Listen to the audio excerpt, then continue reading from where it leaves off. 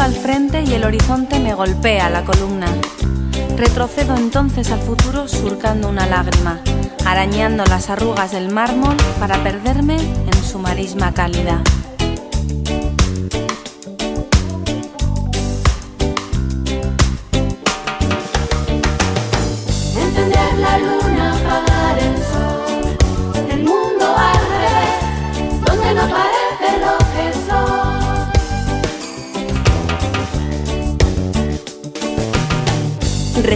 Maleficio de la indulgencia, mientras tiembla el miedo de la bravura.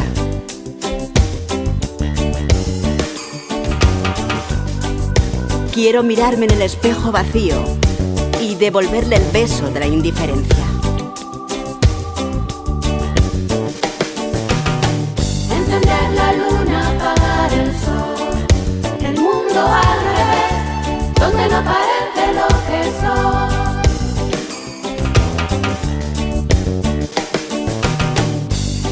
Busco la palabra desde que el silencio me volvió la espalda y desenvaino la paz de mi locura.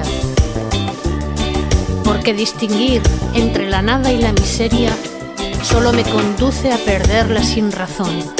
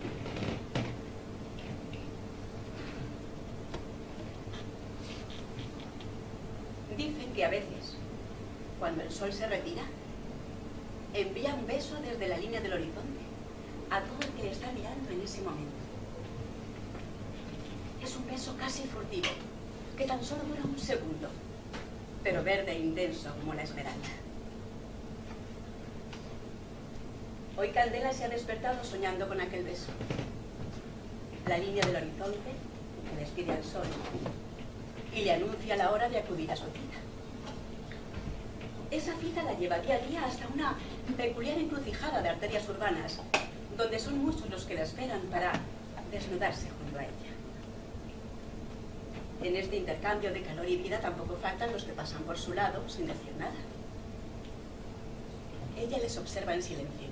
No le importa que ni tan siquiera se dignen a mirarla, porque sabe que en el fondo son conscientes de su presencia. En cada estación del año, luna tras luna, invitándoles a convertirse en el mejor recuerdo de cada uno de ellos. Sin embargo, para sus compañeras es inconcebible disfrutar ejerciendo una profesión así. Para todas, salvo para Candela. Pero esta noche Candela está triste. Esta noche Candela está nostálgica. Se apodera de ella una extraña inquietud. Un presentimiento. El presentimiento de que algo se le anuncia irremediablemente. Algo que... No. Descarta la idea. Y sin apenas darse cuenta, empieza a recordar sus mejores momentos. Todas aquellas historias vividas a través de los años. Empezando así por la primera de todas.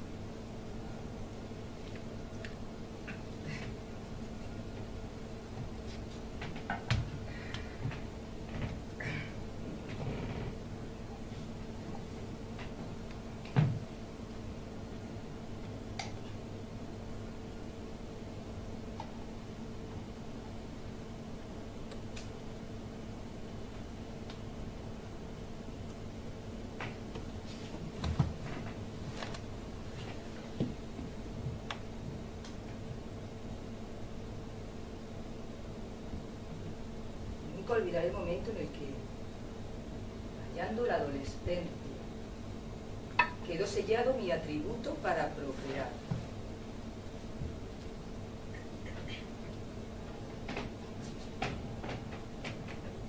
Y años después sigo recordando las palabras de mi madre.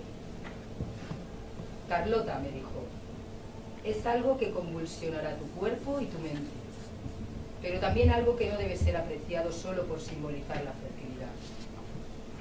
Lo más importante es que te ayudará a sentirte auténtica y a reafirmar tu cualidad de mujer.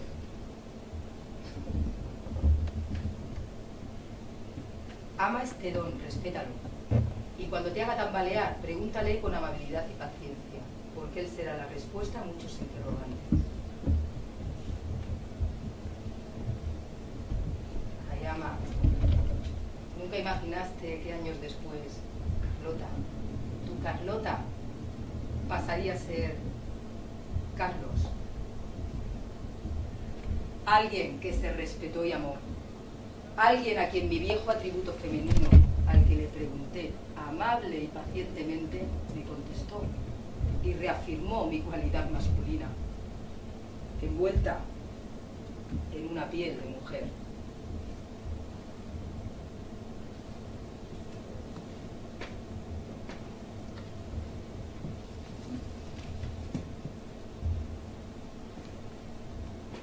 De todos los relatos que escuchó después, este fue el que más le conmovió.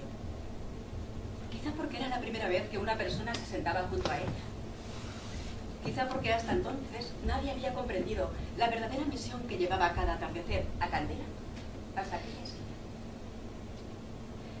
A partir de entonces comprendió que sus posibilidades eran privilegiadas y a través de los tiempos ha ido ejerciendo su influjo para resucitar el arco iris de todos aquellos que depositaron sus propias reliquias de sus mejores esencias bajo la órbita deslumbrante que ella les ofrece cada noche.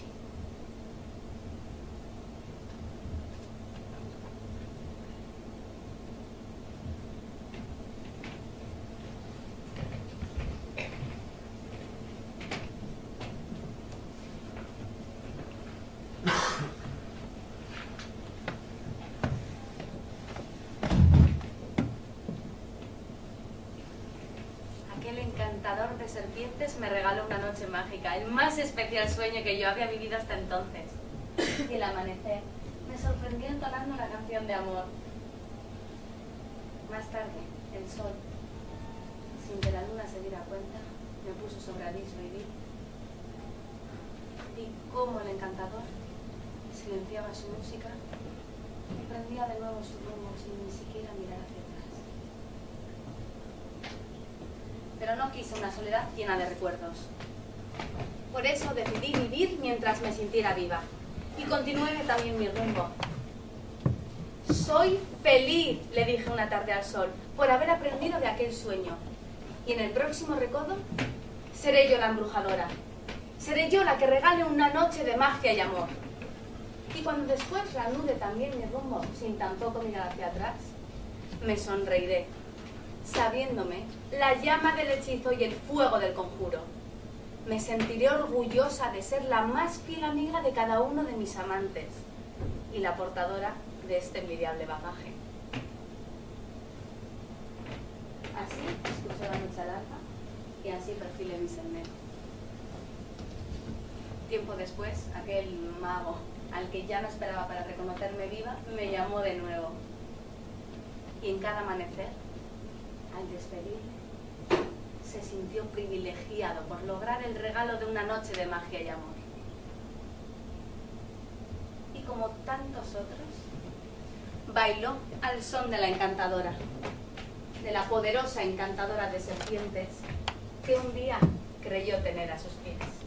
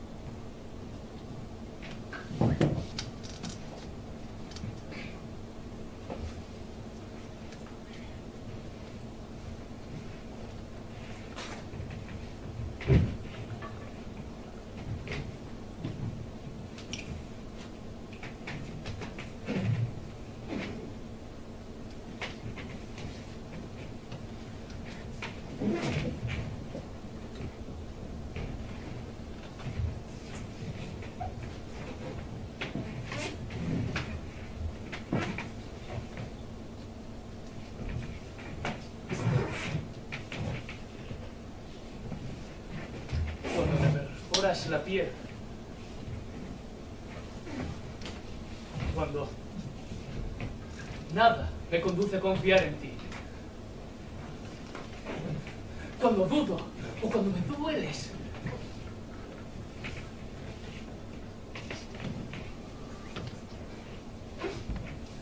Te convierto en mi aire y te destruyo en cada aliento.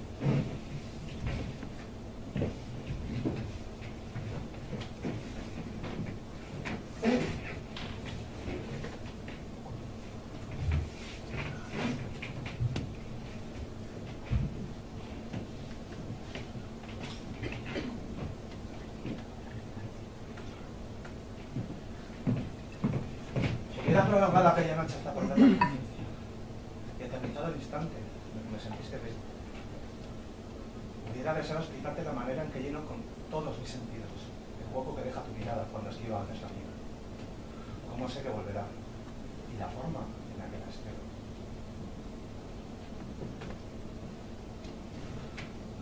Aquella noche, al pie de las escaleras, algo se materializó casi febril en mis entrañas subiendo vertiginoso hasta las pupilas y me dibujó radiante. Fueron unos segundos en los que el calor de tu lenguaje destapó mi alma, drenó mis poros y me hizo estallar. Quise entonces confiar en tu boca todo lo que me ahogaba. y aún me asfixia, pero no lo hice. Temí que ella, tu boca, no me pretendiera. Y desconfiado, la dejé a un lado para deslizarme por otras comisuras.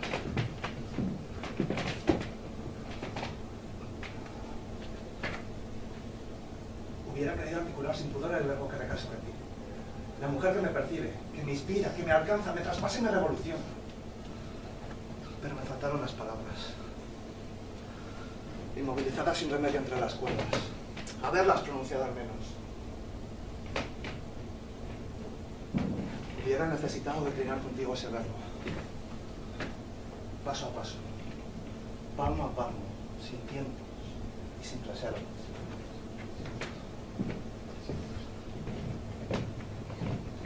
Sin embargo, me fui con todo ello, y mi soledad acudió en mi ayuda para encontrar el oxígeno y ocupar el vacío.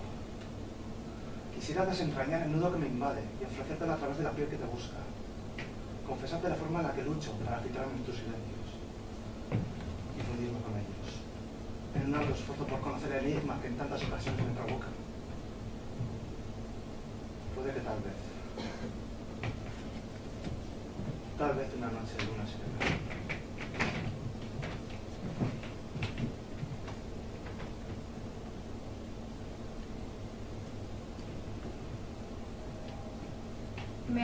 Me gusta ser un nudo para que busques mi desenlace, ser el arco iris de tus creencias y tus recelos.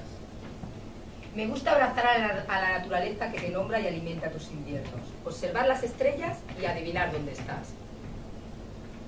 Me gustan aquellos que sienten vida en las palmas de tus manos abiertas.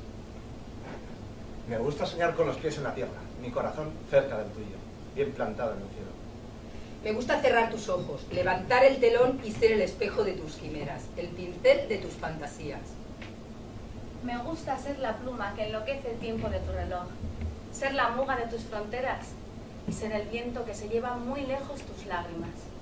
Me gusta recostarme bajo un árbol, dibujar tus sueños a través de las hojas. Me gusta el mensaje de tu mirada y elegir al que lo entienda, sentir la magia de una sinfonía y reconocerte en cada estrofa. Me gusta, en fin, ser tu amigo. No tener que definirlo nunca.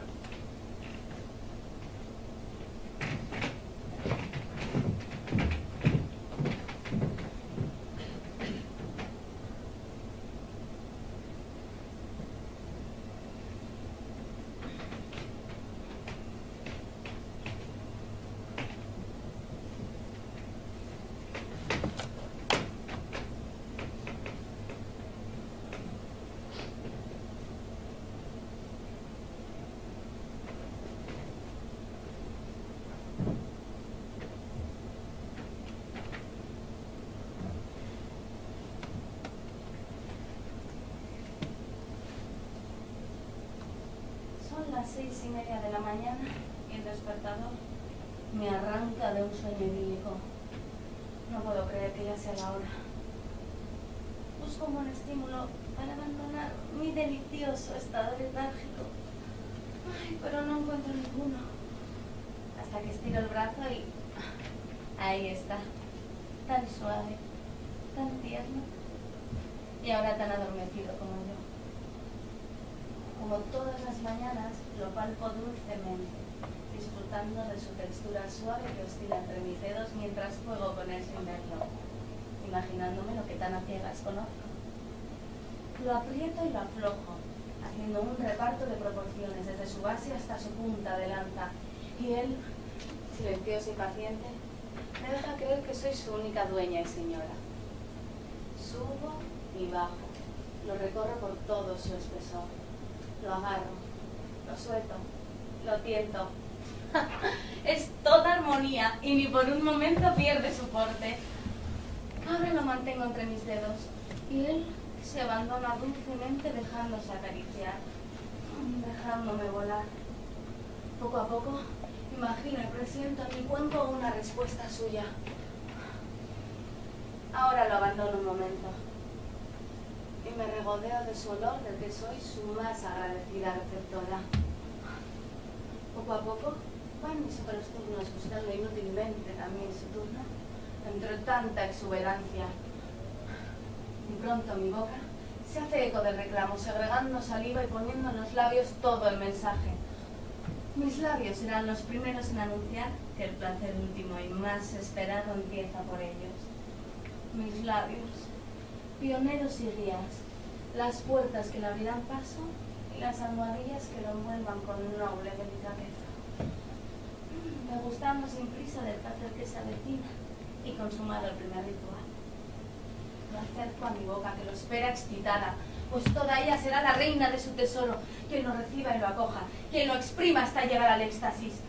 Toda ella será la mejor guardiana de su calor y su fuerza. Se anegará de su fruto y rebosará entonces, triunfante y complacida en cada entrega. Con premeditada y juguetona lentitud, atraviesa mis pequeñas fronteras y se apoya sobre mi lengua lo recorre con sensuales movimientos, mientras yo aspiro y me inundo de su calor y su fuerza, sintiendo cómo me abraza. En cada entrega y en pequeñas dosis me regala su joya volátil, prolongando el deleite y dejarme llena y satisfecha de un placer que me hace perder toda noción del tiempo, abandonándome sin reservas.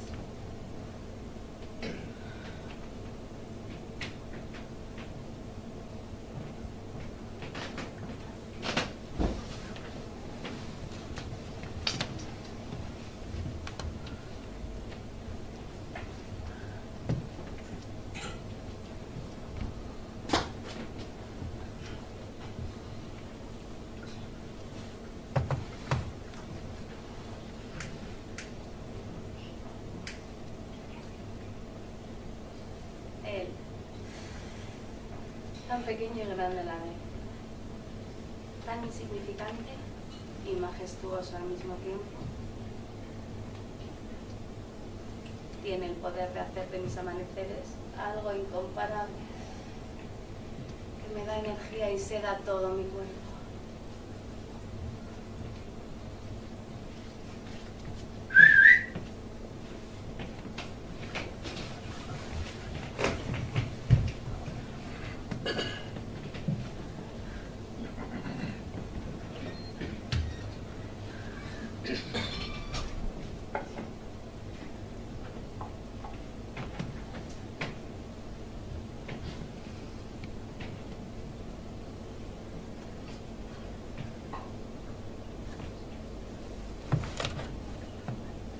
soledad,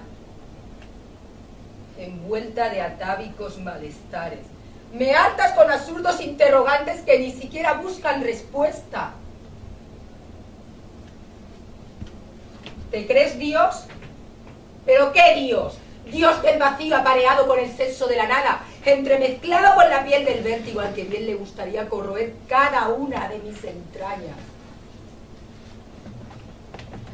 Soledad envanecida, mítica, que marcas el tiempo a ritmos de silencios.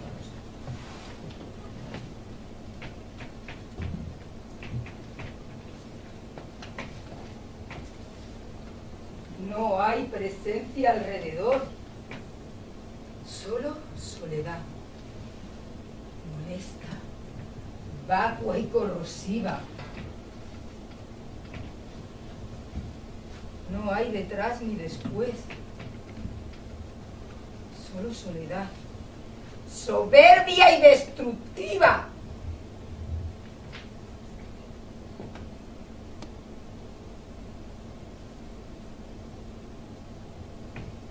Pero no te equivoques. Porque yo... Yo sí soy Dios. El de la mutación. Creador de vida manuscrita y fantasía dueño de sublimes oquedades donde escondo mi imaginación para enriquecer tus miserables precipicios.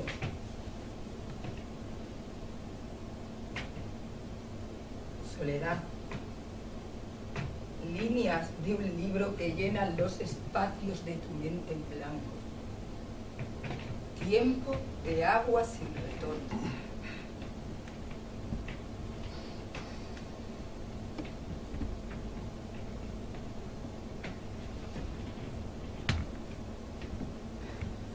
Candela, al tiempo que se conmueve recordando toda esta eclosión de flujo, sal y yermo.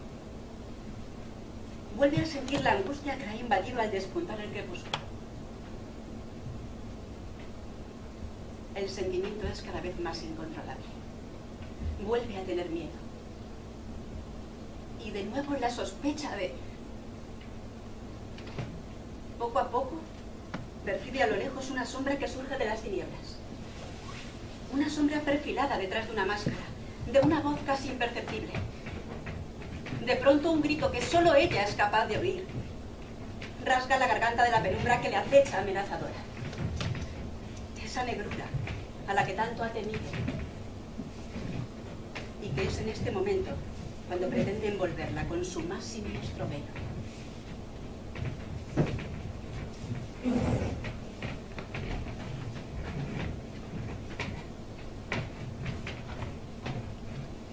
Noche negra.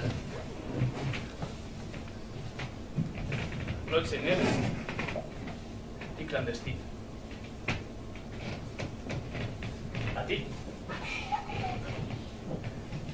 Que acoges en tu seno cada secreto inconfesable, cada libertad censurada, cada maternidad prohibida. Que acaricias el de un amante, la rebelión de un efebo. Quiero cantar desde el lujo de mis soledades.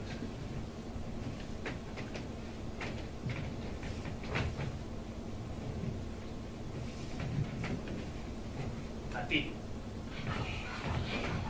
Que escondes entre tus sombras a los hijos de la hipocresía. El delirio de un sol enfebrecido, la locura de una ciudad perdida.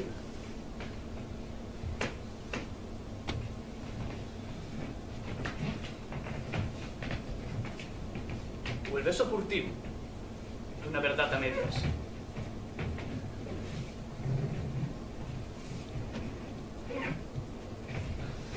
A ti, que por cantarte has robado la luz de mi cordura. Te debo el honor de haber aprendido a ocultar mis sentimientos detrás de tu máscara turbia.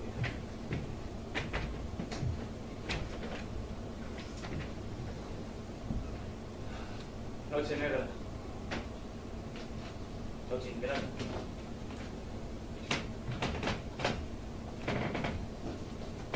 Noche clandestina.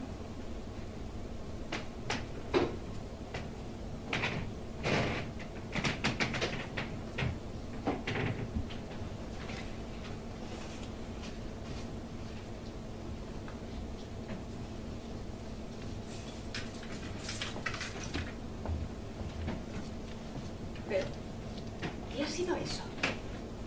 ¿Qué ha sido? ¿Un sueño una pesadilla? Dice Candela temblando.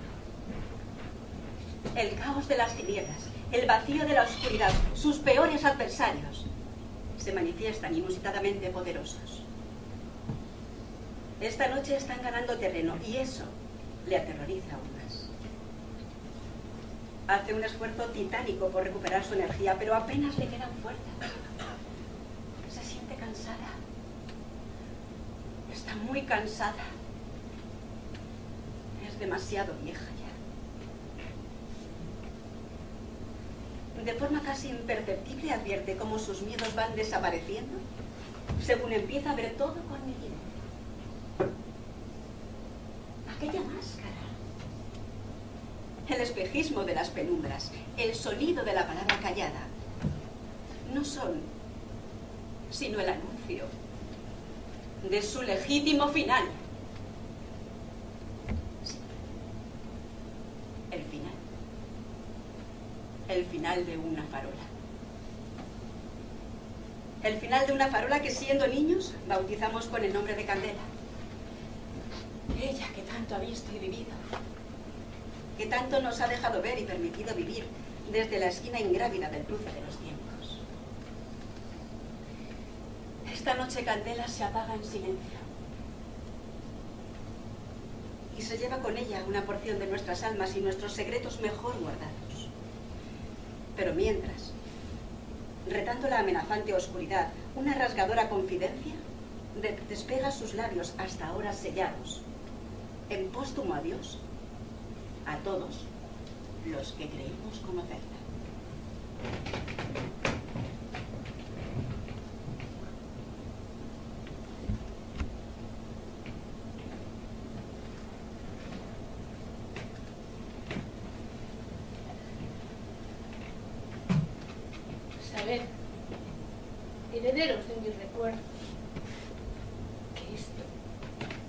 solo un testamento, un manuscrito abierto,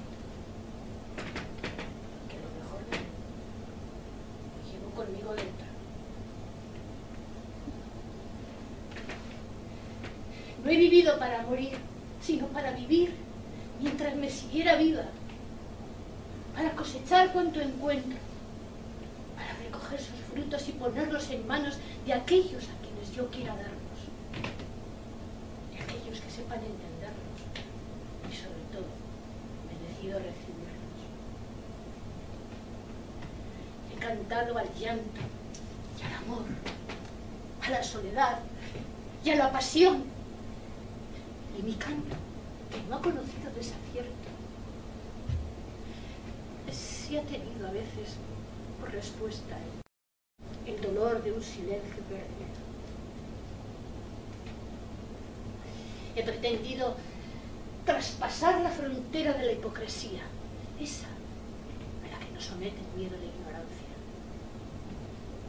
Esto debéis de saber que es solo un testamento, que lo mejor de mí lo llevo dentro.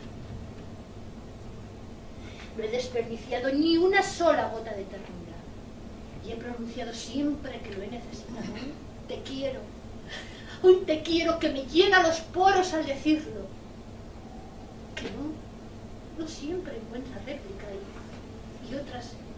se ha diluido por no ser correspondido.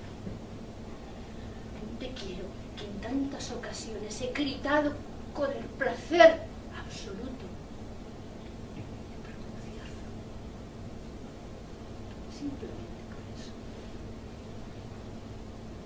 He regalado cuanto he tenido, salvo mi mayor y mejor secreto, el que no desvelaré nunca, porque algo de mí debe de llevarse la muerte.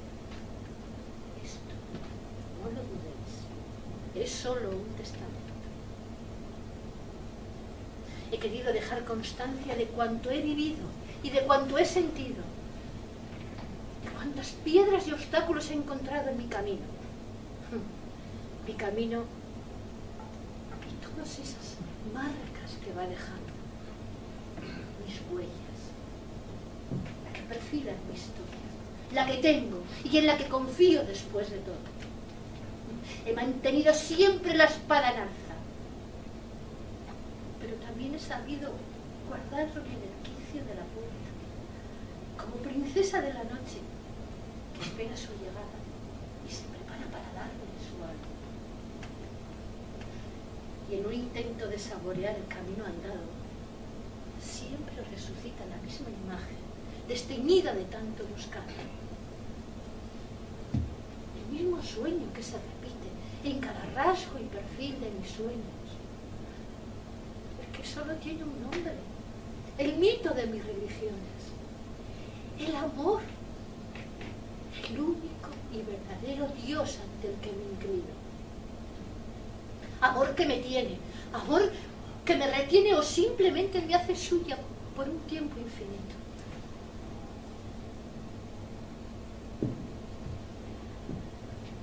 Amor por cuya ausencia hoy júbilo. En esto debéis de saber que es solo un testamento, un manuscrito ardiendo herederos de mis recuerdos, que no desvelará mi más dulce e intenso secreto.